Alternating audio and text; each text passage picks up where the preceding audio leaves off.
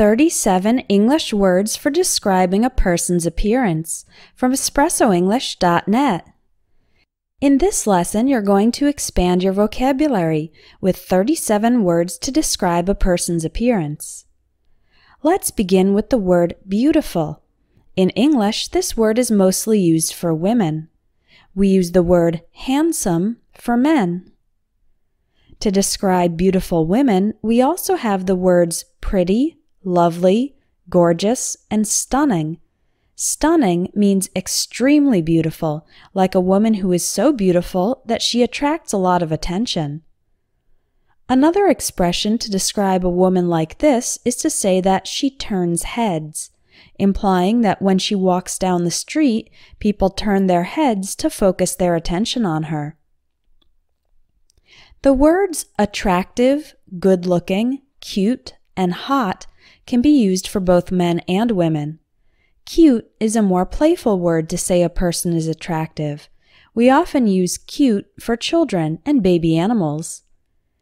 And the word hot is a slang word that you should only use during informal conversations among friends. It means someone is attractive and sexy. The opposite of beautiful or handsome is ugly, but that's a strong word.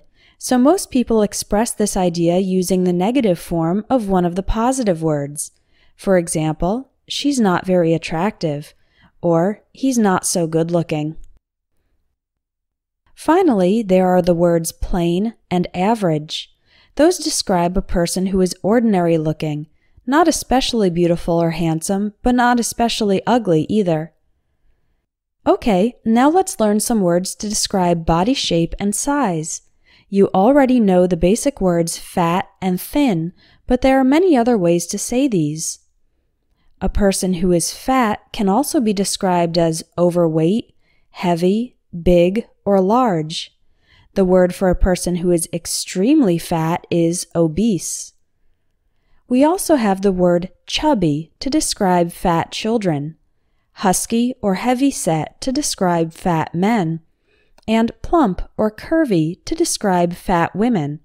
The word curvy has a more positive connotation, like the woman has a full feminine body with curves. If you want to say a specific part of the body is fat, you can say it is flabby. For example, I hate my flabby stomach. We typically use flabby for arms, stomach, thighs, and butt. The opposite of fat is thin. Some alternative words are slim, slender, skinny, lean, wiry, petite, and lanky.